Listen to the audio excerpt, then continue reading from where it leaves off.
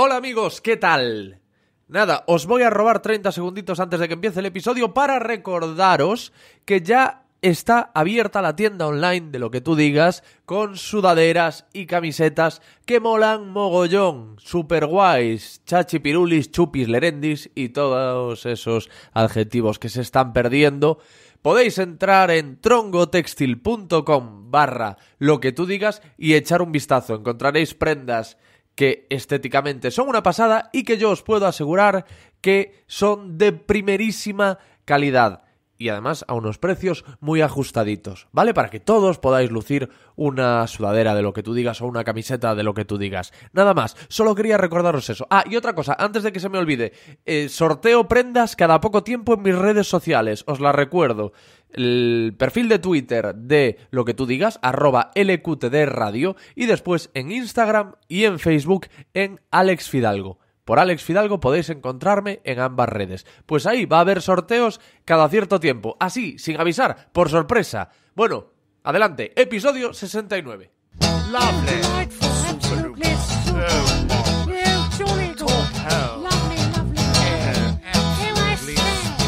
Lo que tú digas con Alex Fidalgo. You'll find us in high places, but we are not your friends. We use you and abuse you all for our untwisted ends. You think that it's your country, it's ours, you silly twits. We're notorious, happy and glorious, clench a professional Brits. Bienvenidos a este episodio 69 que protagoniza Anton Reixa, que me ha dicho que no le gusta que digan de él que es polifacético, así que me limitaré a decir las cosas que es. No voy a decir que es polifacético, ¿vale? Voy a decir las cosas que es y vosotros le ponéis el nombre que queráis. Es músico, líder del mítico grupo Resentidos, responsable de ese Galicia caníbal que muchos habréis descubierto en la banda sonora de Fariña. También es guionista, productor y director de cine español y fue presidente de la SGAE, de la Sociedad General de Autores, una etapa de la que no guarda muy buen recuerdo.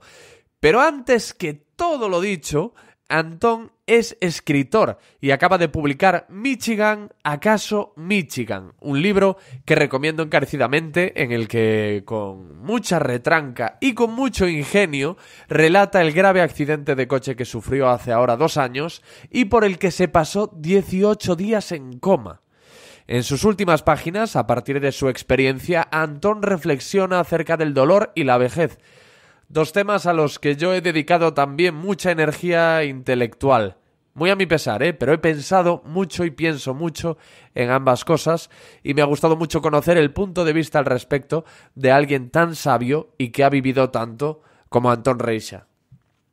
Comenzamos nuestra charla, Antón y yo, hablando de Mareas Vivas, una serie que él creó y dirigió y que emitía la televisión de Galicia que supuso un antes y un después en el audiovisual de esta tierra. Fue algo así como nuestro médico de familia o nuestra farmacia de guardia. Y aunque tú, que me escuchas de fuera de Galicia, creas que esto de Mareas Vivas no va contigo, te diré que de esa serie han salido algunos de esos actores de cuyo trabajo tantísimo disfrutas. Hablo de algunos de los mejores actores de nuestro país, como, por ejemplo, Luis Tosar, que no necesita presentación, y Luis Zaera, candidato al Goya a mejor actor secundario por su papel en El Reino, que lo hemos sabido hace poco, que es candidato al Goya a mejor actor secundario, que se lo merece porque es un actorazo y que ojalá se lo lleve. Y también dio sus primeros pasos en esta serie, en Mareas Vivas, un auténtico fenómeno juvenil, el actor Martiño Rivas, que ahora triunfa con la serie de Netflix Las chicas del cable. ¡Vamos allá!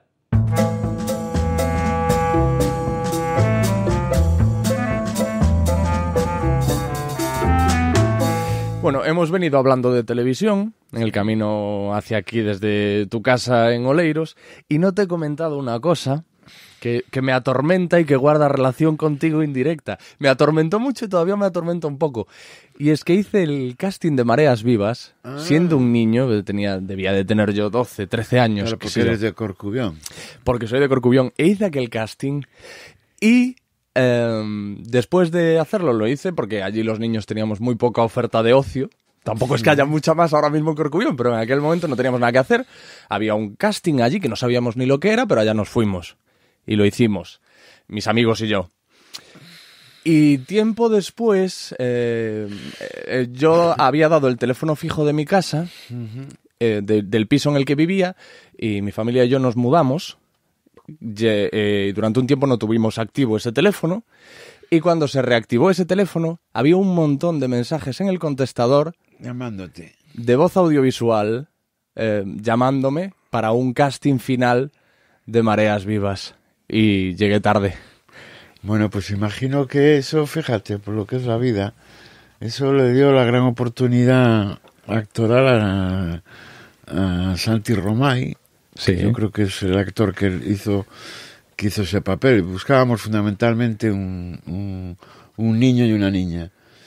Y eh, bueno, yo me hubiera sentido muy orgulloso de, bueno, me siento ya, de, fe- de hecho orgulloso porque recuerdo cuando contratamos a Santi Romay, recuerdo que a Santi no le hacía ninguna ilusión, él decía que íbamos a rodar en verano y que iba a perder, él jugaba al fútbol y que iba a perder entrenamientos o no sé qué. Y sin embargo luego a lo largo de la vida esa fue su profesión. Igual que estoy muy contento que tiempo después necesitábamos otro otro adolescente y, y acabó viendo allí Martiño Rivas, pues lo mismo, Sí, otro sí, sí. otro otro de- tipo que de- tampoco le gustaba aquello, no, no- lo hacía casi eh, lo habíamos lo habíamos insistido mucho porque efectivamente Martiño es obvio que además de un gran actor tiene una gran telegenia y y, y a Martiño lo que le gustaba era leer el marca entre, entre Entre toma y toma. entre toma y toma, ¿no? Y yo siempre le llamaba y siempre estaba ocupado con el marca. Y luego pasaron los años y, y también para Martiño se convirtió en su profesión. La experiencia de Mareas Vivas tiene, tiene para todos los que tu- tuvimos la suerte de estar en eso, tiene un carácter iniciático. Todos estábamos haciendo por primera vez algo que no habíamos hecho antes. Era, la primera vez que se hacía en Galicia una serie, una serie, digamos, de gran formato, con, con, con plató y con exteriores. Hasta ese momento había habido experiencias muy importantes, como que luego, luego continuó también mucho en antena, platos combinados o familia pita, pero eran todo en plató. Nosotros íbamos a una serie de gran formato, nuestra, nuestra, nuestro estándar de producción en la televisión en España pues sería médico de familia o, o periodistas y tal. Y todos los que hicimos aquello nunca habíamos hecho una cosa así, todos aprendimos el oficio haciendo aquello. Yo estoy muy orgulloso de esa, de esa, de esa experiencia. Yo si tuviera que resumir mi vida profesional, pondría tres cosas. Mareas Vivas, el lápiz del carpintero y, y la canción Galicia Caníbal con, con, con resentidos, ¿no? Y todos estábamos viviendo esa excepcionalidad, que era la primera vez que hacíamos cosas. Es decir, de repente aquello se convirtió en la primera experiencia actoral, pues, por ejemplo, para Isabel Blanco. Eh, Luis Tosar, Luis Zaera. Luis, Luis Tosar. Luis, Luis Zaera yo ya había trabajado con él en un programa muy, muy, muy freak que se llamaba Familia Mudanza. Y aquí ya tuvo un papel en serio y, y- y estoy seguro que Zara va a ganar este, espero que gane este año el Goya, porque está en la película esta, El Reino, creo, y, y está especialmente bien. Y Luis no empezaba, pero recuerdo que hubo una, eh, eh, no había hecho cine. Recuerdo que cuando estábamos ensayando para arrancar con Mareas Vivas recibió una una comunicación de Iciar Boyaín para rodar, para tener un papel en, en Flores de Otro Mundo. Y claro, de repente Luis, que toda su vida había soñado en hacer cine, eh, lo que, que, se quería ir a Flores de Otro Mundo, me lo dijo con gran pena, estábamos en los ensayos. Y sin embargo yo me empeñé y llegamos a un acuerdo, él y yo, y Luis hizo una heroicidad que fue que todas sus secuencias se rodaron en el primer mes y medio para que él tuviera tiempo de, de, de luego incorporarse a Flores de Otro Mundo de Ciar Boyaín. Y así lo hizo durante mes y medio, en todos los días de rodaje, durante las ocho horas diarias de rodaje, en todas las secuencias, estaba Luis Tosar. y nunca se confundió de texto, excepto una vez. Y nos pareció tan humano ver que efectivamente era humano, que no era una máquina, que se, que se podía confundir de texto, que recuerdo todo el equipo aplaudiendo porque sabía porque se había confundido. Bueno, son la- las experiencias y el sabor de la nostalgia que, que tiene para todos nosotros Mareas Vivas. Trabajar con Carlos Blanco, yo lo conocía, de, había hecho mucha radio con Carlos. Miguel de Lira. Trabajar con Miguel de Lira. Eh, bueno, fue, fue, fueron experiencias, yo, yo creo que ahí ap- aprendimos todos un, un oficio. ¿no? Y yo ahí también viví la experiencia esa que es muy de televisión, y es que el- en la tele el, el fracaso es de uno solo y el éxito es de todos. Es decir, recuerdo que, que, que Vivas se emitió el 11 de enero, la primera emisión fue el 11 de enero de 1999, lo, lo recuerdo porque es una fecha importante en mi vida. En ese día estábamos empezando ya la segunda temporada. En Televisión de Galicia habían retrasado, habíamos entregado los primeros tres, tres episodios y habían retrasado la emisión, porque nadie creía en el proyecto, nadie creía. Nadie creía en Mareas Vivas. Nadie creía en Mareas Vivas. En, en Televisión de Galicia no creían, en el propio, en el propio equipo, personas que, que, bueno, y que resulta que curiosamente son entrañables, pero tampoco creían. Es decir, yo, había personas del equipo que me llegaron a decir, bueno, pues, Reisa, vamos a seguir en esto, pues por simpatía contigo y porque es un trabajo y tal. Y, pero yo era como un alma en pena ese, ese día porque parecía que me habían dado la oportunidad de hacer una segunda temporada a ver qué pasaba. Y resulta que coincide el estreno del primer capítulo con el inicio de la grabación de la segunda temporada.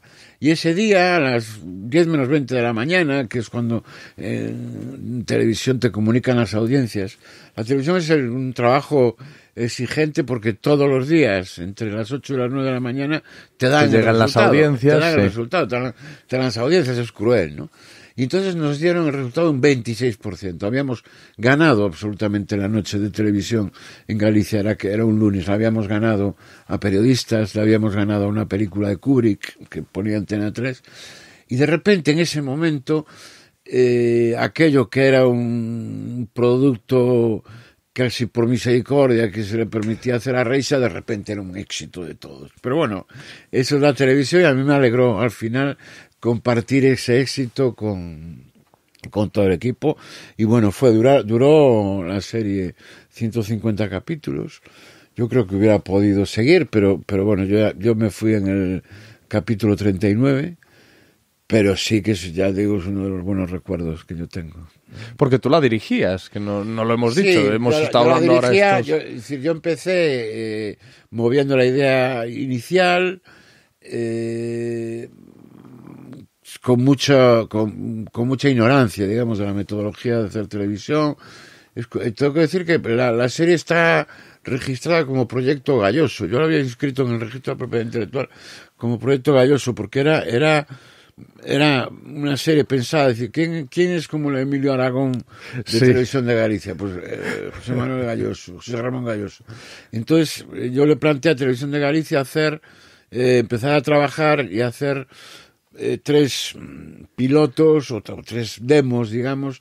En una Galloso era, era abogado, en otra era eh, cantante de una orquesta y, y en otra era, era presentador de una televisión local. Y al final acabamos haciendo, haciendo una serie en la que el protagonista, que no fue Galloso, porque Televisión de Galicia al final no le dejó a Galloso. Ah, pero que iba a protagonizar Galloso a Vivas. Galloso, sí, sí. No Al me lo final, puedo creer. Galloso se, se, se echó atrás porque Televisión de Galicia no lo dejó y, y, y el protagonista fue Tosar y el camino que seguimos fue el que era un juez que llegaba a Portozás, a y que el, el personaje era, era Luis Tosar. Yo de todas formas estoy muy contento y, y quiero, nos llevamos muy bien Galloso y yo, porque yo puse en valor a Galloso. Como, Galloso estuvo en este podcast también. pues un, gran tipo. Tengo, tengo un gran cariño de muchos años a, a Galloso.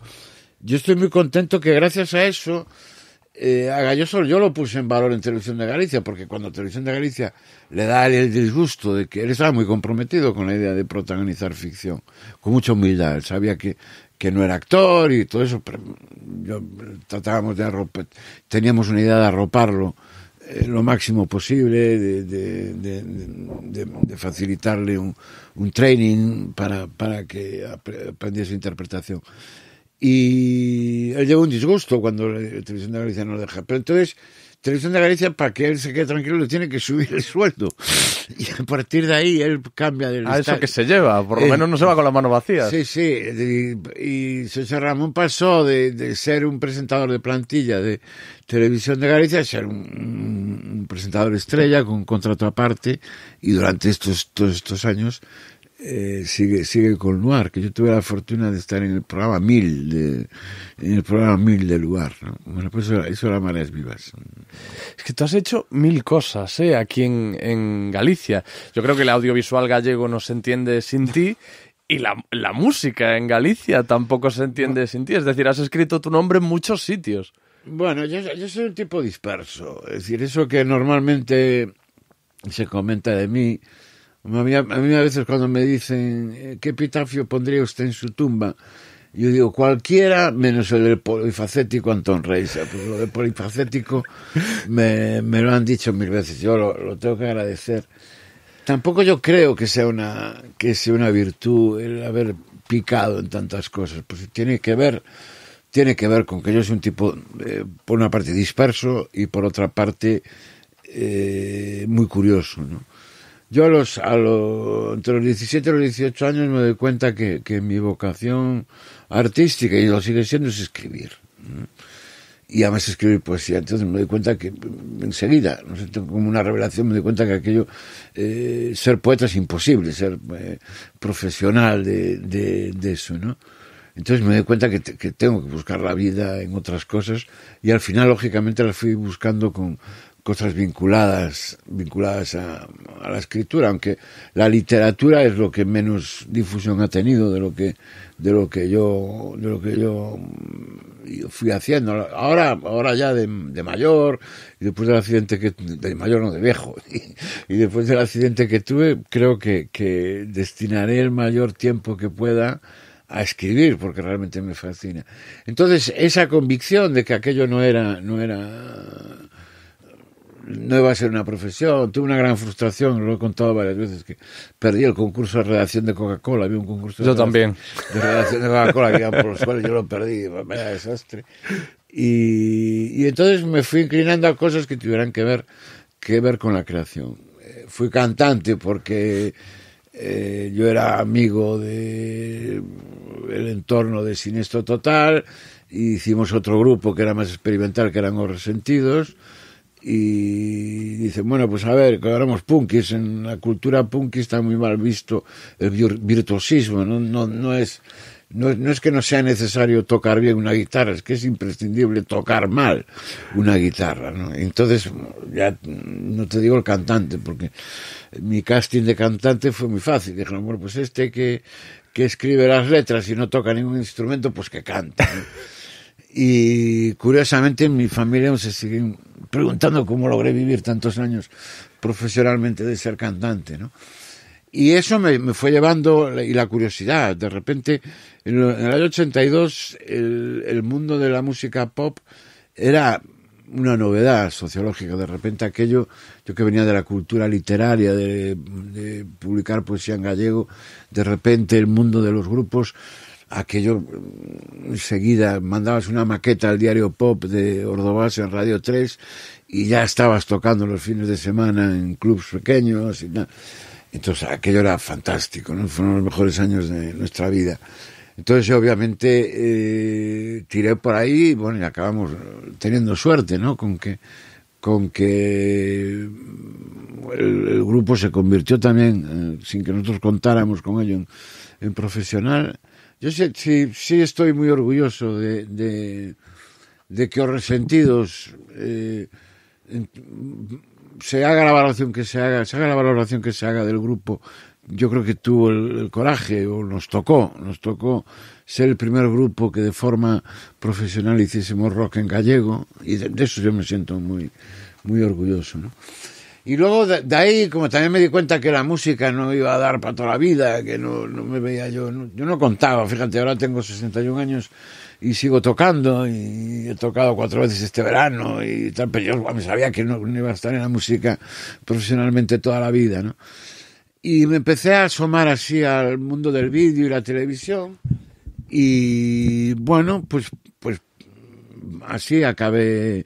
Primero tenía la idea de Mareas Vivas, me- trabajé con guionistas, luego de hacer el trabajo, pues a ver quién no había quien la dirigiera y bueno, pues acabé dirigiendo yo y me convertí en director. Era muy difícil para mí, yo an- anteriormente a Mareas Vivas solo había dirigido videoclips, en los videoclips es totalmente distinto, lo que, lo que buscas es el, efectismo de la imagen, la puesta en escena de los grupos, pero no hay, no hay, sobre todo que es lo más difícil en, en ficción, no hay dirección de actores, el tener que transmitirle a un actor que tiene que poner en escena un diálogo como lo hace y tal.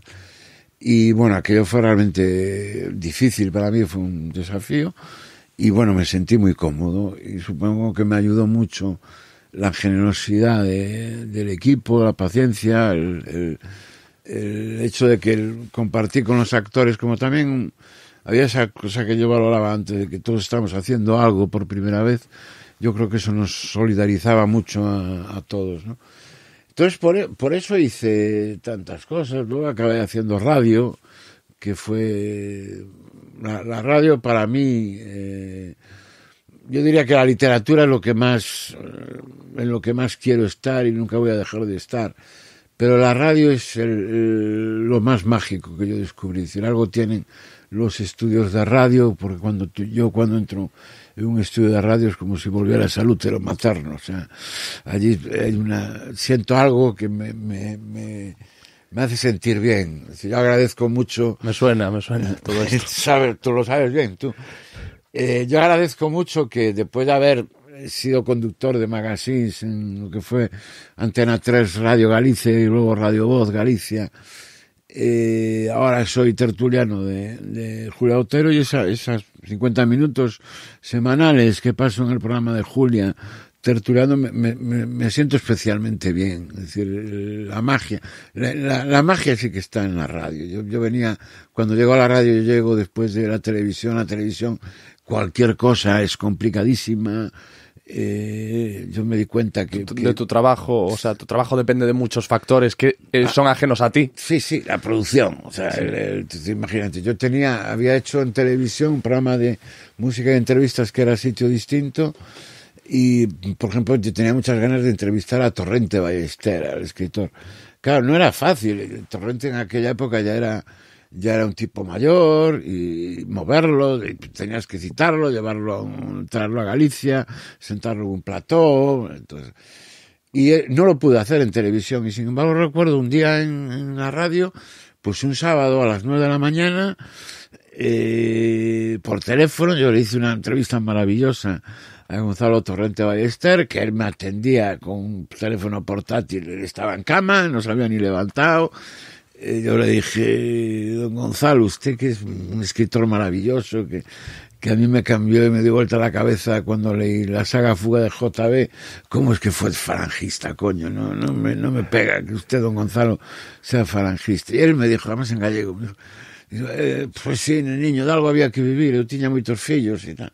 Es la sinceridad, Sí, ¿no? sí, la sí, sinceridad, que a lo mejor yo pienso que sí. Si lo hubiera hecho en, en un estudio de televisión, a lo mejor no hubiera aflorado de esa forma tan, tan, tan, tan rotunda, ¿no? Pero la radio tiene la magia, tiene la magia. Yo hacía radio, aquello, aquello era sobre el año 93. Estaba en plena, en plena efervescencia el conflicto en los Balcanes. Y yo llegué a estar en la guerra, pues, pues, no es un chiste de gila, o sea, llegué eh, a todos los sábados, eh, hacía una conexión, una conexión con Zagreb, en Croacia, y hablaba de la guerra, y hablaba, con, incluso estuvimos a punto de traernos una refugiada de croata a, a Galicia, ¿no? Y bueno, esa, esa es la radio, la radio tiene, tiene una magia que, que, que es lo que hace que la radio, que la radio perviva, ¿no? Yo, Recuerdo que tenía un coche y una vez eh, tenía un Volkswagen Golf y, y de repente ya tenía, llevaba un año conduciendo aquel coche y, y de repente lo enciendo y uy, qué ruido hace el coche, qué raro está esto y tal, y fui hasta el taller y tal. No pasaba nada, lo que pasaba es que en un año yo no había estado dentro de aquel coche sin que estuviera la radio puesta. Entonces, por primera vez escuchaba... claro. eh, El ruido escuchaba propio el- del coche. El ruido propio del coche y a mí me parecía que el coche estaba estropeado, ¿no? Entonces, que, y, si yo, se me estropea la radio en el coche y me, me... Bueno, ahora ya no conduzco, pero cuando conducía pero era como si me castigaran, ¿no? Y en, en casa tengo radios por, por todos los sitios porque necesito estar escuchando escuchando radio. Incluso fíjate que, de- que he localizado programas de televisión de noche que funcionan como la radio, es decir, que me permiten darme la vuelta en la almohada y con la simple escucha los, los, los- los puedo seguir. La, la radio es la magia. La radio es la magia. ¿Eres nostálgico? Bueno, no. Eh, sí, tengo, tengo mis eh, nostalgias y soy un tipo muy mimoso, ¿no? Y muy chorón. pero no, no, es decir, yo, creo que mi vida ha ido siempre mejor. Eh, no, no creo que cualquier tiempo pasado fuera mejor, es decir, al revés. Creo que, que, que la madurez, eh, la independencia que vas ganando. Yo no tengo, por ejemplo, un recuerdo eh, de la infancia como un edé. La infancia es un coñazo. Eres un- cuando eres un niño, eres un ser que depende de que tu padre o tu madre te den permiso para todo, no tienes eh, independencia y tal. Y yo creo que, que el paso del tiempo en la vida de uno es, es el que, eso que se llama madurez, es que vas ganando independencia y tal. Yo, decir, yo me siento, me siento, me siento muy agradecido a la vida.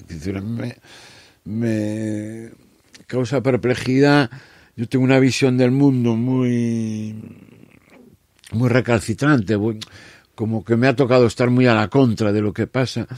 Pero sin embargo, yo estoy agradecido a la vida. No puedo decir que, que, que la vida me haya tratado bien. Yo he tenido suerte, he, he podido hacer muchísimas cosas, he tenido eh, las oportunidades eh, y sobre todo he tenido la suerte de que, de que mi trabajo me ha permitido conocer a muchas personas, que ese es el tesoro ¿no? que, que, que uno que uno guarda. Pero no no tengo nostalgia. Entonces fíjate que que aparte yo tengo una, una noción de la vida como un constante aprendizaje. Es decir ahora tuve una experiencia muy traumática hace dos años un accidente que me pudo costar la vida que supuso 18 días de coma inducido bueno yo creo que que, que de eso he aprendido muchas cosas. Obviamente fue una experiencia muy dura, fue una experiencia que me puso en peligro, fue una experiencia que supuso, me supuso que me arruinara económicamente, pero, pero vivo mejor ahora, curiosamente, vivo mejor. ¿Tú esta- estás arruinado económicamente?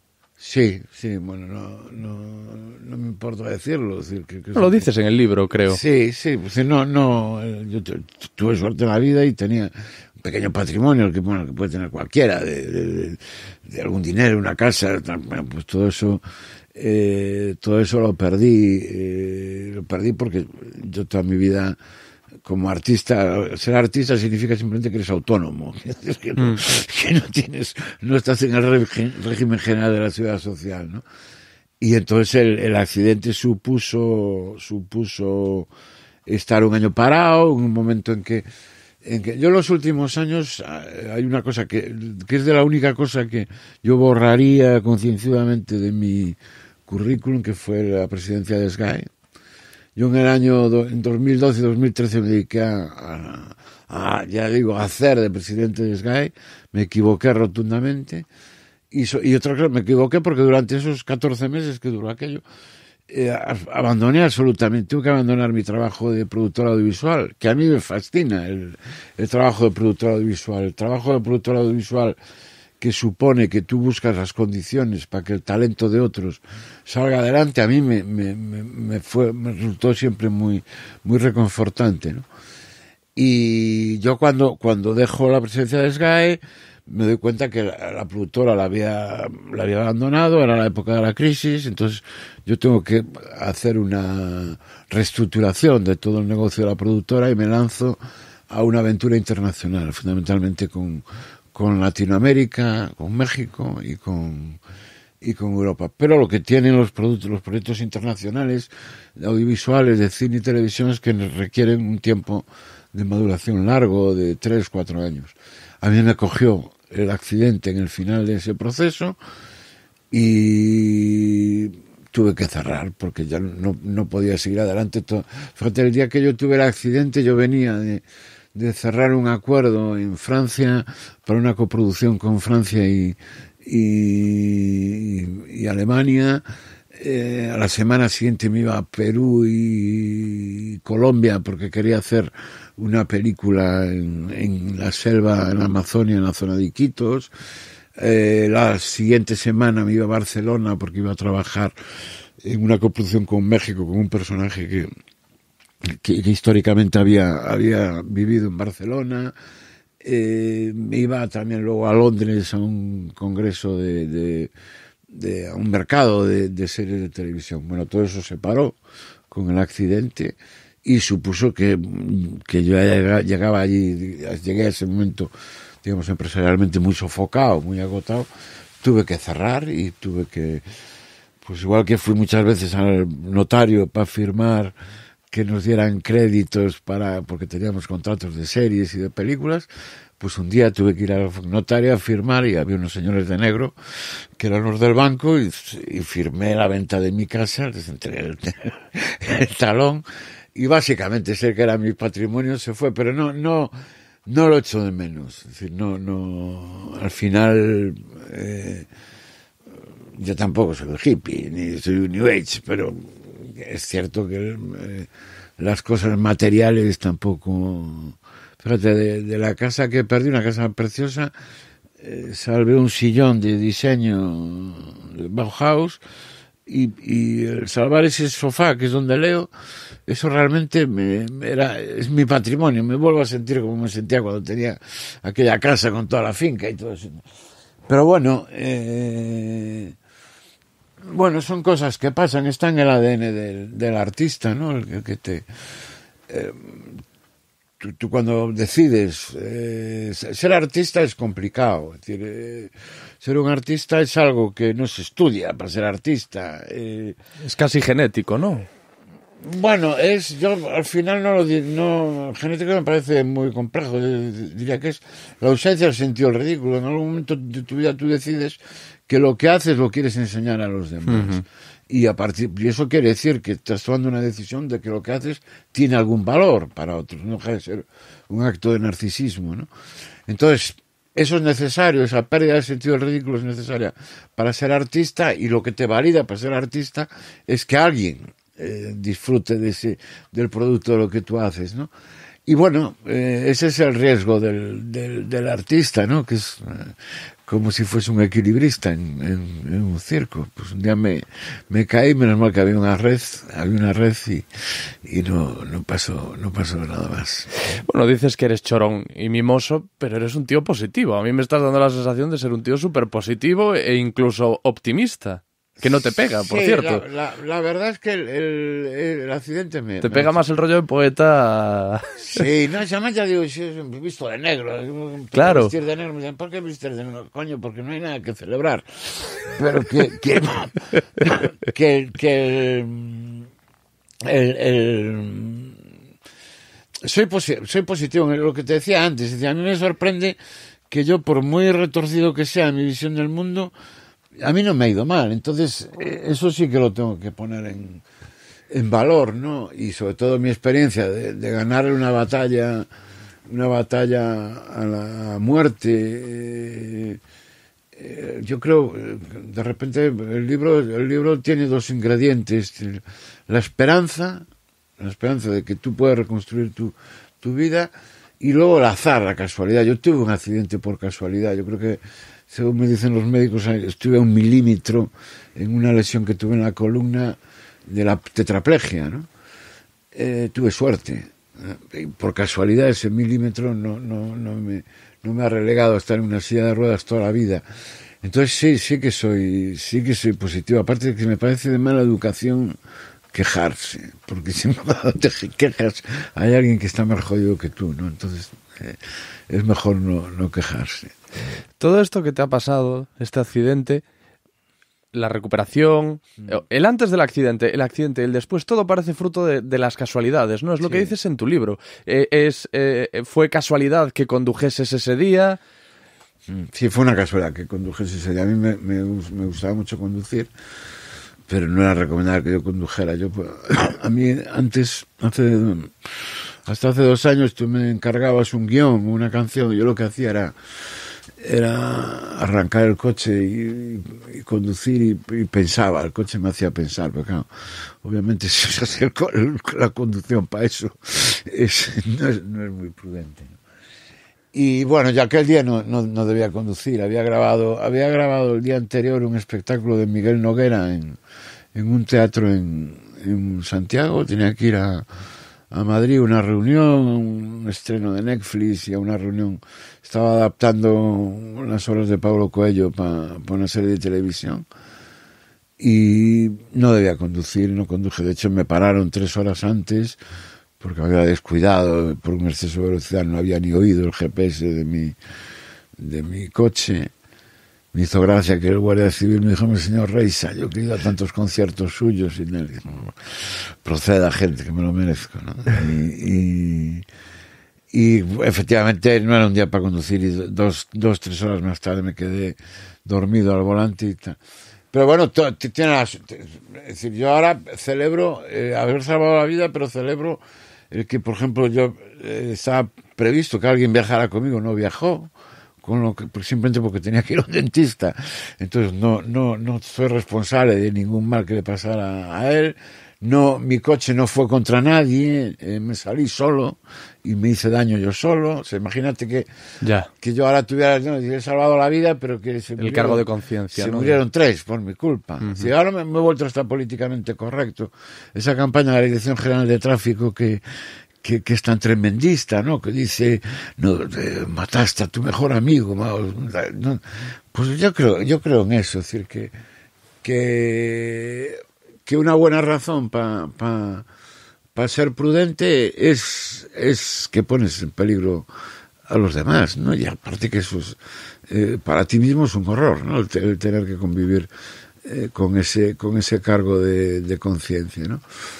Entonces, bueno, ese conjunto de casualidades, eh, pues son lo que, lo que cuento ahí en el, en el libro, ¿no? Yo lo, lo comparo, que al final lo comparo, eh, hay una cosa, una línea un poco oscura en el libro, que es, cuando yo tengo el accidente es el momento del reggaetón. ¿no? Es el momento del reggaetón, no es un teléfono, pero lo voy a coger, porque creo que está permitido, ¿no? Sí, sí, claro, claro, claro. Pues sí, aquí no hay, este, este es el programa sin ley, no hay, no hay leyes ni reglas ni. Pues yo tengo, tengo, sí, Cani, ¿qué tal? Estoy grabando entrevista, ¿eh? Vale, bueno, pues, ¿cómo quedamos? No, no, ainda me falta, vou para casa mellor. Man, meña un bico. Bueno, se me, se me querían recoller, pero estoy tan a gusto, estoy tan a gusto que... Ah, cómo me alegra. Voy, voy a estar un rato. Eh, El tiempo que quieras, estás lo tu casa. Que, lo, que, mm, lo que te contaba, que te estaba contando sobre... Eh, Está, estábamos hablando sobre el accidente. Sí. Ah, que, que, que las casualidades. Cuando, cuando, yo tuve el accidente era la época del reggaetón, del despacito. Sí, eso es.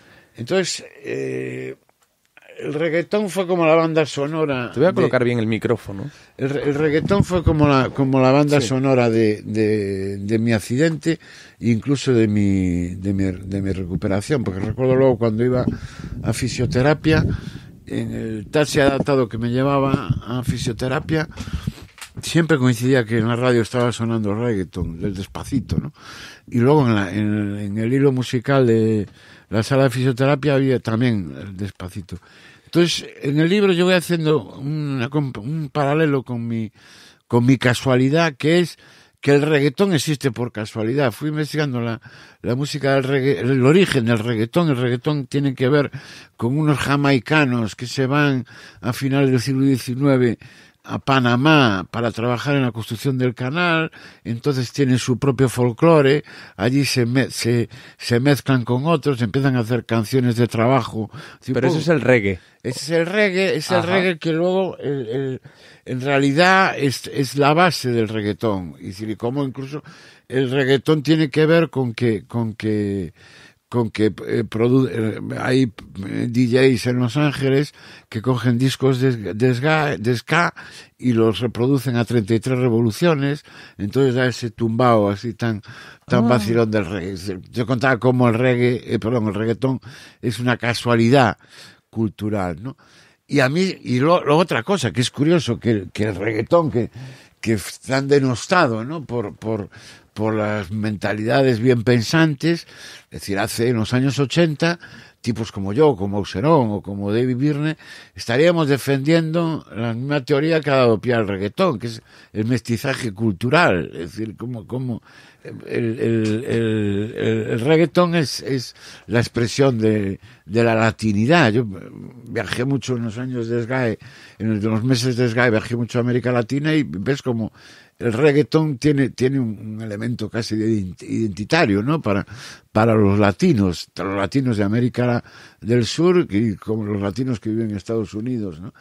Y eso que de repente era pues toda la cultura del mestizaje que tanto hemos de- defendido ahora de repente como es mainstream, como suena en los 40, pues es malo. Pues no, pues es, es así, lo, lo que tiene la cultura popular, que la cultura popular tiene que, que es tan auténtica que tiene lo bueno y lo malo. Es decir, las personas somos ruines y, y pues, pues, claro, el reggaetón pues es machista porque la sociedad es machista y, y es macarra porque eh, eh, vivimos en una, en una sociedad de macarras, ¿no? Entonces, eh, bueno, pues también el reggaetón es un producto de la casualidad histórica de como unos jamaicanos que van a trabajar al canal en el siglo XIX, bueno, pues otros pinchas en los, DJs en Los Ángeles que los ponen unos discos a 33 revoluciones por minuto, bueno, pues esa es la casualidad que hace que el mundo que el mundo sea como sea, ¿no? A cada rato. Igual que muchos inventos, ¿no? Las casualidades son súper necesarias para el, Sí, sí, el sí. avance del ser humano en, en la ese- historia. Ese concepto que es, eh, últimamente se habla mucho de él, que es la serendipia, ¿no? Que, Ajá. que gente buscando una cosa llega- Encuentra otra. Encuentra otra. Bueno, pues eso está bien. Eso está bien. ¿Tú recuerdas el momento en el que, en el que te despiertas del, del accidente? Sí, sí. ¿Y eso, eso cómo fue? Hombre, imagino que aturdido, sin entender muy bien qué estaba pasando. Sí, son décimas de segundo, son décimas. Yo, yo estaba muy acostumbrado a, a, conducir distancias largas y parar a echar una cabezada. Y justo en ese momento yo me iba, buscando hacia el arcén, me iba, iba buscando un sitio para parar el coche y dar una cabezada, pero no me dio tiempo. Fueron décimas de segundo y, y me salí. Abrí enseguida los ojos, vi como el coche atravesaba un, un campo que yo creo que era un trigal, pero luego me di cuenta que es en octubre y no debía haber mucho trigo. Pues yo como era Valladolid digo, aquí hay trigo, pues, esa imagen que, que tiene uno, un cliché, ¿no? Y sí, sí, recuerdo perfectamente. Mis ojos abiertos, el airbag blanco, blanquísimo, y unas gotas de sangre en el blanco del airbag. Eh, y luego el otro día estuve en el programa de Buena Fuente y hice mucha coña con él porque en la radio en ese momento estaba hablando Albert Rivera, ¿no? Entonces, entonces, yo de repente me sentí ridículo allí, tirado en el coche, tenía no sé cuántas cosas rotas, el airbag hinchado, una postura rarísima y la radio encendida y Albert Rivera estaba hablando porque era el momento de la investidura de, de Rajoy. Si yo cuando tuve el accidente y a los dos días me, inducen el coma, eh, Trump todavía no era presidente, estaba en campaña electoral y Rajoy estaba pendiente de conseguir los votos. Y cuando vuelvo de los 18 días de coma, Trump era presidente, me lo cuentan en la UCI con espanto. Fíjate, ha ganado las elecciones este, en Estados Unidos este Trump. Que yo creo que es por eso, es, es el, el argumento del libro. Yo el libro le llamo Michigan, ¿acaso Michigan? Porque yo en el delirio de mi coma creía, me sentí en Michigan. Yo nunca he estado en Michigan. Y la única razón que explica que yo eh, me trasladara, mi, mi delirio me fuera a Michigan es que había muchas, yo había oído, eh, oído, visto muchas informaciones que aseguraban que Michigan era un estado que parecía que mayoritariamente iba a votar a Trump, A Trump. como efectivamente así fue. Y debió influirme eso, igual que inf- influyó que era la época del Black Friday. Y entonces yo en mi delirio, lo cuento en el libro, yo me siento en Michigan y en ese Michigan, en un centro comercial, yo me encuentro a Donald Trump repartiendo propaganda electoral. Porque imagino que lo estaba vinculando también a la publicidad que había oído del, del, del Black Friday, ¿no? Entonces, eh, bueno, el libro es eso, es como el subconsciente, el subconsciente se construye, ¿no? Se construye pues con las cosas que me pasaron en las últimas horas.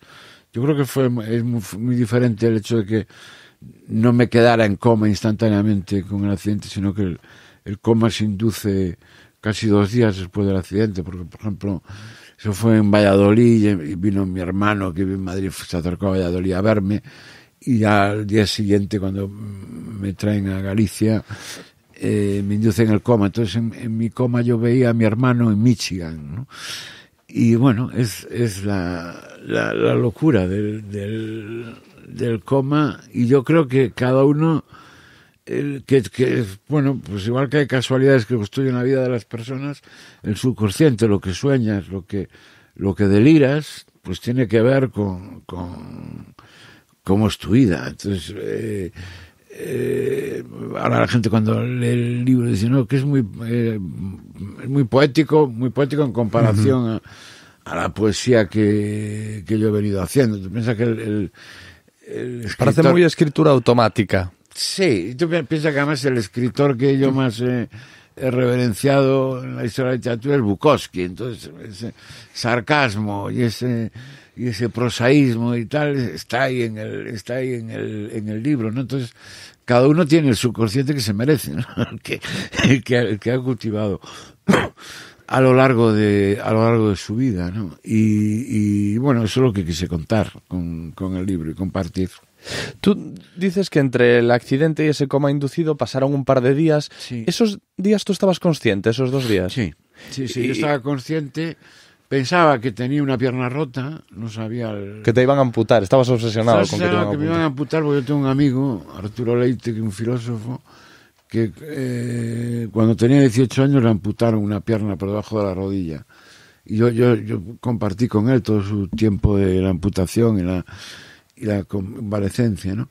Yo estaba obsesionado con eso, ¿no? Y, y sí, esos, esos días yo, creí que, yo no lo que no sabía lo que tenía, yo cre- que- creí que sabía que tenía una pierna rota, eh, también hay cosas macabras. Por ejemplo, en el hospital que primero me reciben en, en, en Valladolid, el jefe de planta muy amable me da un folleto de la Fundación de Tetrapléjicos de Toledo. Y yo, coño, menos mal que yo en aquel momento me Qué daba fuerte cuenta eso. que, ya, que no había perdido la movilidad. Pero, me- Pero me parece muy fuerte que te den eso sin saber. bueno, tiene, tiene, tiene si ya saben que te vas a quedar tetrapléjico, que te den un folleto No, acerca de la tetraplegia, pero caso, si no, joder. Imagino que lo que persiguen es que tú que has pasado por una experiencia así, te conviertas en socio de esa fundación Ah, vale. y hagas manifestación, que yo lo acabo de hacer ahora aquí en tu, en tu entrevista, ¿no?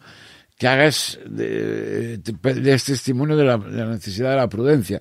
Pero bueno, es, es macabro, ¿no? Que te den, que Sí, te den, que te den aquello. Pero es que tú en aquel momento no sabías que iba a pasar Bueno, contigo. sí lo sabía. sí Ah, lo sabía sabías porque, porque movía las piernas por debajo de la sábana. Ah, vale. Es decir, igual que es más sarcástico, pero cuando llego al, a, la sección de radiología en el hospital de Valladolid, de una forma abs- absurdamente clandestina. Es una cosa que tenemos los gallegos. Los gallegos, cuando nos encontramos por ahí fuera, nos identificamos como gallegos, pero clandestinamente. Se me aparece un tipo, oye, Rey Santón, yo soy un galego como a ti. Tal. Un tipo está, y digo, "Coño, yo tampoco era, entiendo yo por qué me hablaba con ese sigilo, ¿no? Entonces, yo le dije, coño, pues yo sería con lo que si, mírame ahí, que yo creo que me van, me van a tener que amputar. Y el cabrón levanta la sábana y mira y dice, uy, ese pie derecho y tal. O sea que ese gallego, en vez de ser solidario y decirme que, que ya me curaría, pues me dijo que efectivamente estaba en peligro. No, no me amputaron, fel- felizmente. Cuando leía eso me, me, me acordaba de una de las cosas más impactantes y que, y que más en shock me, me han dejado de, de- de todas las que he leído en mi vida, que es una de las que más, que es el desorden de identidad de la integridad corporal, que es gente que considera que le sobra un miembro sano. Es gente, o sea, que le pasa lo contrario que a ti. Tú tenías miedo de que te fuesen a amputar y, y es gente que quiere ser amputada. Eso es curiosísimo. No sé si has, si has escuchado hablar de eso alguna vez. No sé por qué. Es que justo ayer lo, lo comenté con un amigo que, que el libro, me- esa parte fue lo que me vino a la Sí, cabeza. Hay una parte en que, en que, en que además cuento, eh, relaciono mi delirio con, con los dibujos que hacía Ambroise Paré, que un tipo, un cirujano francés, que de- del siglo XVIII, yo creo, y eran mo- mo- monstruos, ¿no? Tipo, como nacían niños con dos cabezas y, y, y siameses y cosas así, ¿no? Y sí, sí que, que, es cierto el como, como hay gente que, se, quita cosas, se amputa. Y quería preguntarte también, tú estás esos eh, 18... Bueno, a ti te dicen, señor Rey, ya vamos a inducirle un coma, porque hemos dicho que tú estabas consciente.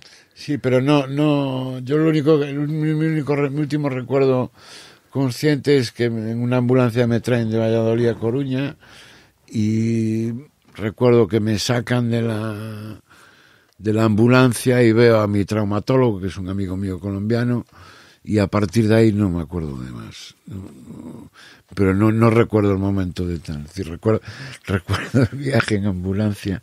Venía con un autoadministrador de morfina y yo venía con una fiesta. Venía diciendo los de la. Yo, en Coruña, ya os digo yo, para ir una mariscada y no sé qué. Y, tal. Y yo, tal, además, el, el autoadministrador me decían: No, esto cuando tengas dolor, apriétala aquí. Y le dabas como un loco. Yo era como un loco y me dicen, ¿cuántas lleva? Llevaba 28 veces. Y me dicen, no, pues ya se autobloquea a los 19. ¿no? Pero bueno, yo me, me, me liberó mucho del, del dolor. O sea, he hecho otra cosa eh, que aprendí con, con el accidente, a convivir con el dolor. Es decir, el dolor... Bueno, nada, me, me- dicen los médicos que, que es crónico, me quedan unos dolores y me dicen que, que, serán crónicos. Bueno, pues eh, puedes vivir con el, con el dolor.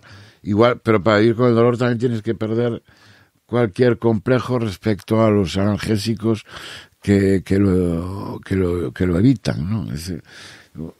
A cuenta del accidente me llamó una asociación que considera que el, alivio del dolor es un derecho humano porque, bueno, pues un, parche de opiáceos que yo puedo conseguir aquí en una farmacia, pues imagínate eso en países de África, eh, donde hay gente con muchas heridas y hay eh, países en estado de guerra y tal, no hay, no hay casi morfina ni que, son los analgésicos mayores, mejores, ¿no? Entonces, el, bueno, pues convives con el dolor. El dolor además no tiene una cosa que no lo sabes explicar. A mí cuando vas al médico te dice, ¿dónde te duele? Sí, me duele aquí, ¿cómo? Y te tienen que ir tocando, si es muy difícil describir el, el- el dolor que tienes, ¿no? Pero lo tienes, ¿no? Yo aprendí incluso a distinguir el dolor, digamos, más habitual que yo tenía con el dolor del, eh, mezclado con la infección. En el posoperatorio se, tuve dos infecciones y, y yo las detecté porque identifiqué que el dolor era de otra forma y, y- y se lo manifesté al médico y detectaron que, que, que tenía infección. Hablas de esto del, del dolor, que es una de las lecciones que extrajiste de, de lo que te pasó.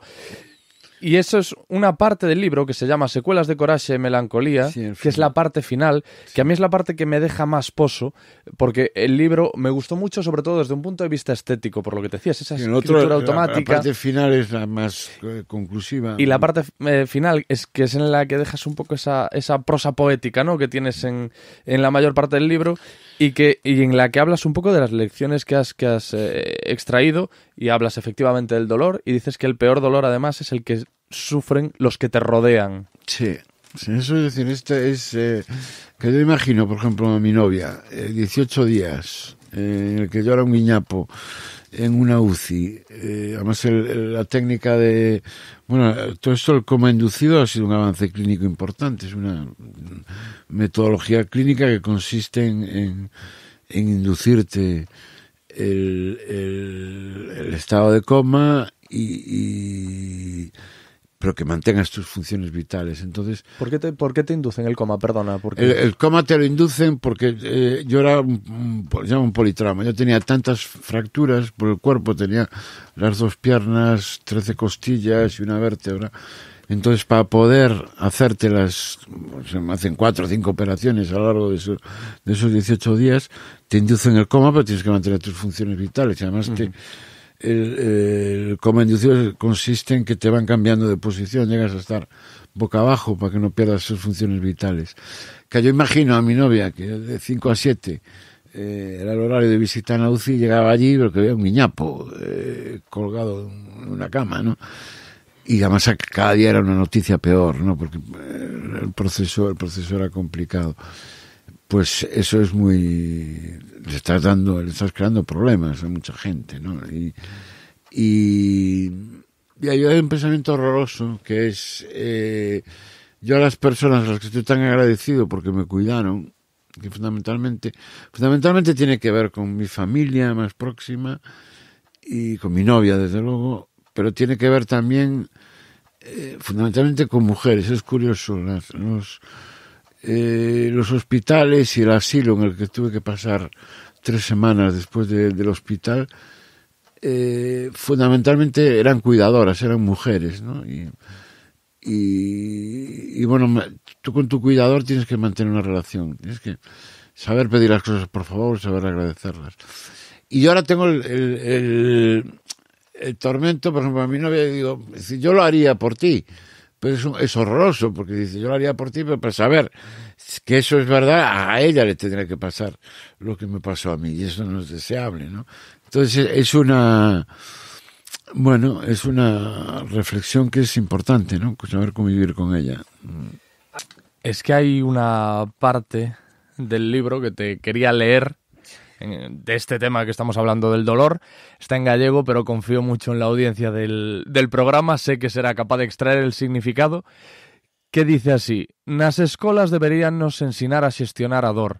Non debes abandonarte a autocompaixón e tampouco te podes converter nun histérico demandante. Un dos maiores problemas para o alivio da dor é lograr expresala. Poucas sensacións máis abstractas e inefables que a dor. A dor anúlate. Es brutal este párrafo. Sí, lo que digo que, que, que, que, eh, nos deberían explicar eh, a cómo gestionar el dolor. O hay dos cosas que, que, que yo noté un déficit. Uno, el déficit de, de mm, la vida, la cultura de uno está lleno de, de convicciones filosóficas, ideológicas, religiosas o antirreligiosas. En realidad todos esos son pensamientos que al final lo que quieren es al final no dejan de ser supersticiones para gestionar el azar. Es decir, eh, acabamos de asistir a la gran superstición que es la lotería. Todo, todo el mundo cree que le, que le va que le va a tocar, pero bueno, ahí es un azar eh, groseramente evidente que la gente sabe que, casi la fiesta es, vamos, si no te arruinas comprando números, pero que la, fiesta es la coña de, tener un número. Pero en realidad, fíjate que, que eh, la lotería, igual que la teología, se responden a, a que al final la vida está determinada por, por, por el azar, por la casualidad. Y nadie nos enseña, nadie nos enseña, digamos, a, a, a gestionar ese azar. Igual que nadie nos enseña a gestionar el dolor. Quiero decir, el dolor, el dolor tienes que saber eh, convivir con él, tienes que saber eh, que lo tienes, tienes que saber, tienes que saber que de alguna forma, por muy inefable que sea, lo tienes que explicar. Y luego, luego tampoco puedes eh, convertir tu dolor en una carga para, para los demás, ¿no? Es muy odiosa, yo recuerdo la- la- los meses que pasé en silla de ruedas, que simplemente eh, alcanzar un libro en una estantería requería que tú tenías que pedir a alguien, ¿no? Entonces te, te das cuenta que, que a la persona que tienes al lado la machacas, que de repente a lo mejor le estás pidiendo cien mil cosas al mismo tiempo y tal. Por eso, por eso es muy importante. Esta- estamos eh, construidos, digamos, con una idea falsa de la felicidad, del happy happy, ¿no? Es bueno que se haya que se haya avanzado mucho, por ejemplo, en la, en la terapia de la depresión, pero ¿en qué momento eh, en qué momento tenemos que diagnosticar que nuestra tristeza, que a mí me parece que es un estado natural del ser humano, que la tristeza sea depresión? Es decir, eh, hay que hay que vivir con una cierta eh, cierta pena no con una eh, que eso for- forma parte de, de la vida no O sea, yo creo que la pena y el dolor entonces al final tiene que ver con la frustración no y que es importante que, que convivas con eso. Me puse yo muy filosófico ahí al final del, al final del libro.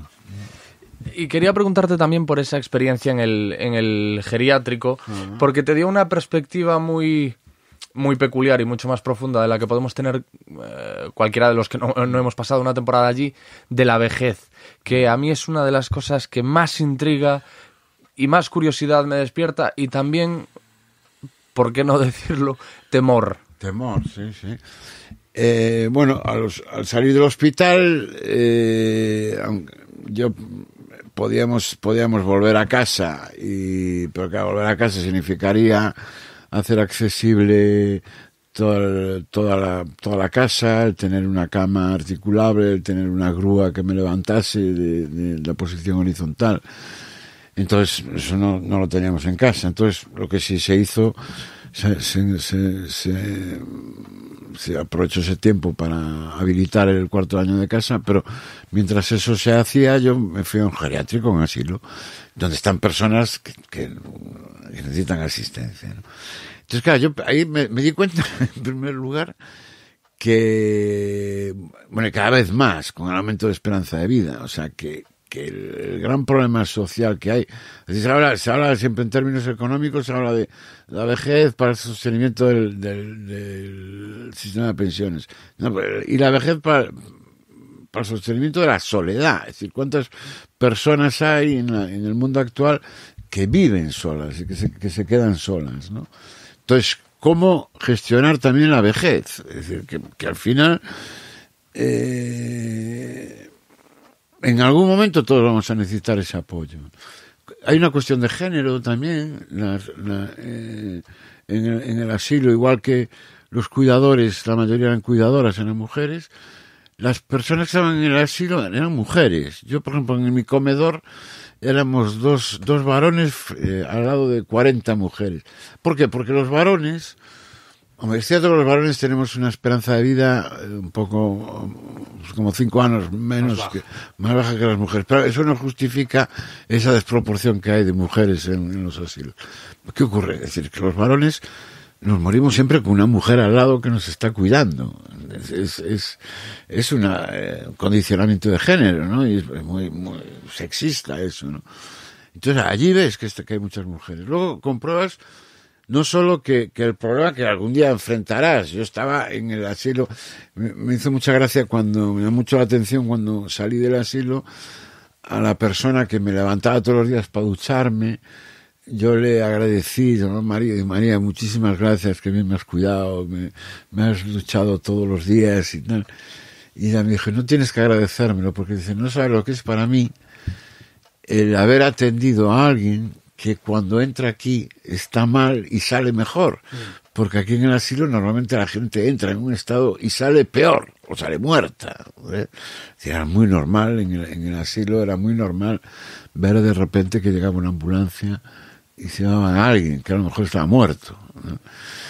y incluso incluso hablando de otras cosas el- eh, hablando con la persona que dirigía el asilo el problema de la gestión de un asilo es que, que, que me parece que cada mes se les muere el 10% de, los, de las personas que están allí entonces tienes que prevenir esa esa esa ese ciclo no y bueno lo que lo que entonces lo que lo que yo veía que además eh, la vejez es así, es decir, vamos a tener que necesitar asistencia. Eh, la vejez eh, es curioso porque la vejez de cada uno es distinta. Quiero decir, eh, yo allí veía personas de setenta y pico años que estaban fatal y personas de 90 que sin embargo estaban pues no en plenas facultades pero que, que estaban muy bien es decir todos es decir cada uno envejece de una forma muy distinta luego otra cosa muy curiosa que es que cuando envejecemos envejecemos se nos agudizan eh, nuestras características. Es decir, si... si Porque nos desinhibimos, ¿no? no sé si vivimos, claro. Entonces, el que es simpático es muy simpático, eh, pero el que es malicioso, de mayor, es,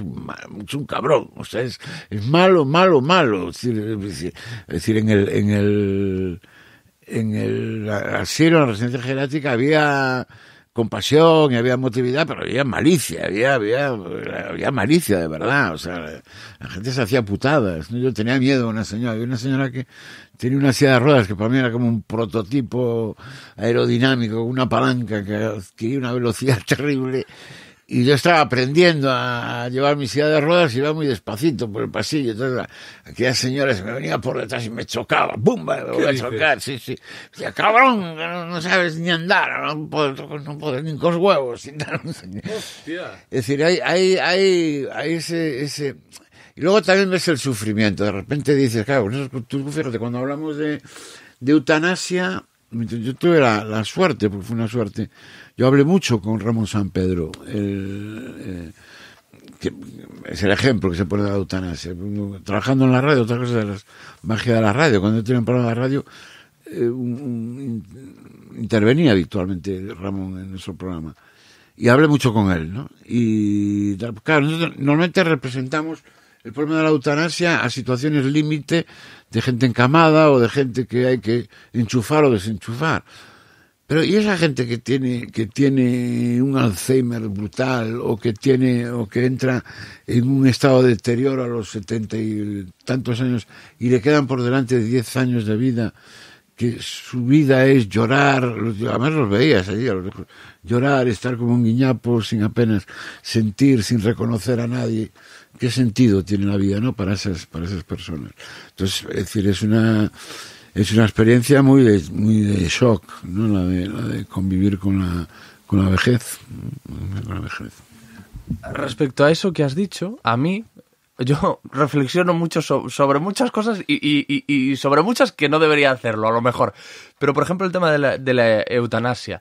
A mí me, me resulta muy agobiante y me supera pensar en la posibilidad de que yo no tenga decisión sobre, sobre mi vida o mi, o mi muerte. Es decir, que yo no pueda llegar a un momento en que, joder, eh, se supone que em, se puede dudar de cualquiera de nuestras posesiones, menos la, la- la de nuestra propia vida, ¿no? Y, y nuestro propio cuerpo. Y a lo mejor yo un día digo, pues, es decir, es que tienes que esperar a la evaluación de un tercero para ver si estás lo suficientemente mal, ¿no? Para, para, para que te quites la vida. Pues a mí eso me agobia. Eh, es decir, hay un momento cuando yo estoy en la convalecencia, yo he, he- he tratado de ser positivo en el libro y hablo de la esperanza y de cómo se sale de todo. Pero claro, yo me imagino, eh, si yo me hubiera quedado estancado en aquel momento que estaba en la silla de ruedas, es decir, por ejemplo, cuando tú estás en una silla de ruedas y, y- y, no tienes eh, autonomía para levantarte tú, ir al baño. Y aparte a mí coincidía con, con, eh, te puedes imaginar la cantidad de medicación que yo tenía. Entonces tenía, tenía dos estados, mi cuerpo tenía dos estados naturales, o estreñimiento o diarrea. Ah, Pues esto que es tan, tan eh, escatológico es un problema, es decir, porque, porque fuese por estreñimiento o por diarrea, yo que requería que yo tenía que avisar y por lo menos cinco o seis veces al día me tenían que levantar con, con, con una grúa que cada vez que me levantaban funcionaba de una forma distinta y me ponía el cuerpo en tensión y ponerme en el retrete y todo eso. Bueno, pues eso es una vida con dolor, con, con esa ansiedad, con esa... No eres dueño ni de tu propia limpieza. Eh, pues claro, si yo ahora hablo, hablo aquí, me voy de rositas y qué contento, pues yo soy un tipo que, que, salió de eso, anda apoyado con un bastón, ando de puta madre y, he vuelto a trabajar y tengo mi vida, he vuelto incluso a los escenarios, pero que, que mm, sí me hubiera quedado ahí. Es decir, claro, ¿quién decide que yo me quede así, no? Ejemplo, pues es una reflexión que hay que hacer de forma valiente. ¿No? Y que, y que y que de alguna forma la ley tiene que tiene que tiene que afrontar tiene que afrontar Has hablado también elogiosamente, como no puede ser de otra forma, de las eh, personas que te han cuidado allí. Y eso es otra cosa eh, que también me, me intriga muchísimo, que es la gente que trabaja, pues como tú dices, en un, en un geriátrico, donde eh, efectivamente lo normal es que nadie salga mejor de lo que entra. Y como tú dices, pues lo normal es que la gente que sale de, allí salga, salga muerta. Y lo mismo pasa con la gente que trabaja en cuidados paliativos. Es que yo creo que tienes que estar hecho de una pasta especial, porque eh, dedicas tu vida a despedir a gente que se va, que se va de este, de este mundo, digámoslo así. De todas formas, en, en los de paliativos casi tiene una ventaja, que en todo caso ayudan a que la despedida de la vida de la gente sea, sea, sea mejor, ¿no? De eso soy muy consciente. Yo, yo estoy yendo ahora a una unidad de dolor y, y bueno, eh, el- eh, es curioso porque el código es muy, muy desinhibido, ¿no? Tú normalmente cuando, cuando estás en una situación de dolor que se cronifica, y que, como en mi caso, que yo eh, estoy, digamos, en una situación de cronificación feliz del dolor, quiero decir que, que, que vivo bien, no tengo una buena calidad de vida, pero bueno, tengo dolor. Y es curioso que se invierten los códigos, porque tú cuando empiezas a ir a eso, tú de repente tienes miedo a convertirte en adicto a, las drogas que te suministran. Bueno, pues normalmente el, terapeuta que te atiende en una unidad de dolor lo que hace es desinhibirte. Dice, no, decir, eh, el dolor no tiene ningún sentido que, que convivas con el dolor. Aparte, eh, también culturalmente tienes que aprender a que bueno, te lo explican de una forma, yo lo voy a explicar muy torpemente, pero es algo así como que cuando tomas determinadas sustancias porque efectivamente tienes dolor, es como que el dolor absorbe, digamos, la dependencia que esa, que esa sustancia te puede generar. ¿no? El problema es cuando tomas esas sustancias por capricho, porque no tienes dolor, entonces te conducen a un estado de euforia y tal, entonces crees que eh, eso es lo que puede generar adicción. Pero es que en las unidades de dolor fundamentalmente te enseñan a que le pierdas respeto a, las drogas. Es decir, no, yo recuerdo en, este itinerario y un par de veces intenté bajar las dosis y tal, y los médicos te iban a decir, no, no te preocupes, eh, has bajado la dosis y no funciona, pues tienes que seguir con la dosis anterior. O sea, te, te desinhiben ¿no? respecto, respecto a eso, porque somos muy puritanos, es decir, como, como la eh, los paliativos, al final, fundamentalmente el paliativo fundamental que es la morfina. Entonces, están, claro, están vinculados a una sociedad que tiene, eh, que es prohibicionista con, con las drogas, ¿no? Ese, esquema lo tienes que olvidar cuando, cuando, cuando lo, tienes la necesidad de, de, tomar eh, sustancias que te alivien tu dolor. Es que tenemos un temor tremendo a la química y a veces deberíamos pararnos a pensar, pues que a lo mejor nos compensa, aunque le, aunque le temamos, aunque a lo mejor nos estemos haciendo un poquito de pupa tomando algo. A lo mejor nos compensa. Esto me recuerda, yo tuve eh, problemas de insomnio importantes, que los problemas de insomnio son mucho más graves que el hecho de, no, es que no duermo por las noches y estoy cansado al día siguiente. Ojalá eso fuese lo peor. Lo peor es lo que hace a tu cabeza. Eh, a, a, tu cabeza le, le, pasan cosas horribles. Yo he tenido incluso episodios de alucinación por, por pasar mucho tiempo sin dormir. Entonces yo una vez llegué al médico, el médico me recomendaba tomar pastillas. Yo le decía, sí, es que si me tomo, si me tomo por ejemplo un lorazepam voy a dormir. Pero claro, no voy a estar poniéndome. Y el médico me decía, tío, tómate, tómatelo. Lo, lo, ahora lo principal es que duermas. Lo demás es secundario. Ya haremos lo que tengamos que hacer para que eh, no te enganches o, o lo que sea. Pero tómatelo. Lo principal es que duermas. Has puesto un ejemplo importante que es el insomnio. En el, en el libro yo creo que lo cito. Una de las cuidadoras eh, un día está hablando conmigo una cuidadora especialmente feliz, recuerdo los ojos brillantes, personas que yo había, yo había un momento del día que era un horror que, que tenía que pasar de la, de la silla de ruedas al sofá, entonces y eran tres personas que tenían que levantarte, era un coñazo, ¿no? Que hasta notabas que eh, como llamaban por megafonía, estaban tres personas en, en tal, tal, ya, ya, todo el mundo entendía, este es el, un cabrón que necesita que lo, que lo, que lo levanten y lo, lo, pongan en el sofá, ¿no? Que además no deja de ser un capricho, ¿no? El, el, el querer pasar de, de la silla de ruedas al sofá. Pues yo me acuerdo de esa mujer que era una de las que habitualmente estaba en esos equipos que me, que me sentaban, siempre se quedaba hablando conmigo. Y un día hablando conmigo, yo la vi tal, y yo que estaba, eso, estaba en pleno estado demandante, ella me decía que tenía insomnio. Yo a siete años que no dormía. Es decir, son esas situaciones de insomnio crónico, ¿no? Y que a mí me, me- lo, cito porque tú, tú has, tú has comentado del insomnio. Es decir, el insomnio, el problema del insomnio no es no es que no estés descansado al día siguiente, es el horror. De, de- de- de- decir, cualquier minuto de insomnio, te- yo no sé qué tiene que te inducen a unos pensamientos horribles y, y- y- no, no- se va el tiempo. Un minuto de, insomnio es como un siglo en, vigilia, ¿no? O sea, es- es- por eso que, que ahí también hay que sacarse los complejos y combatir el, el, insomnio con, química.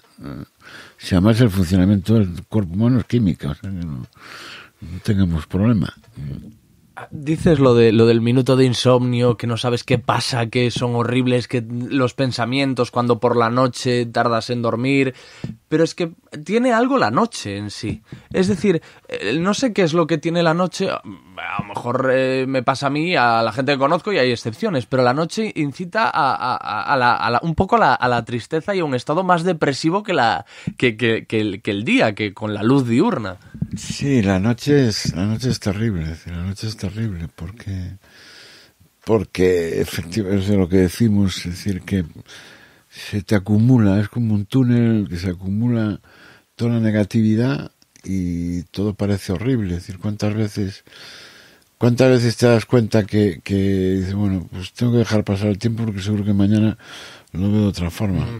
Bueno, yo, yo, hombre, yo recuerdo cosas simpáticas, recuerdo hace muchos años, cuando no tenía un, duro para nada, me acuerdo un día que a las 5 de la mañana estaba en insomnio y dije, me va a tocar el bingo, y me levanté y fui a un bingo. Y lo único que hice fue perder los pocos ahorros que tenía en aquel momento en mi bolsillo, ¿no? Pero que, que la, noche, bueno, es, es además es, también eh, a veces es al contrario, es decir, a veces, por ejemplo, el estado de, de depresión, a veces se detecta esos días que cuando te levantas, si, si estás deprimido muy profundamente, eh, cuando te levantas, tu primer pensamiento es cuándo llegará la hora de que me vuelva a dormir, ¿no? Porque no, porque estás, eres depresivo. Puede ser la magia que tiene la noche, puede, puede ser un tormento y puede ser, y puede ser un, y puede ser un alivio, ¿no? Y bueno, yo recuerdo la- las noches que pasé en el hospital, además, yo no sé por qué razón, el, el- pa- pasan algunos casos que hay, hay, hay mm, sustancias químicas, farmacológicas que te causan efectos rebote, efectos eh, eh, eh, paradójicos. Por ejemplo, tranquimacín en vez de en vez de el transilium, pero en vez de en vez de calmarme me rebotaba y, había en el hospital estaba una monjita y yo, yo, yo, pobre mujer, luego fue muy, muy cariñosa conmigo, pero yo la veía así, me parecía Batman, y yo, Batman, venía con su, con su cofia, y yo, en mi estado catatónico, le decía, hermana, nos veremos en el paraíso, pero era la locura de la noche, ¿no? De, que, de que, de que, bueno, de día no, no, no, no, no dirías todo eso.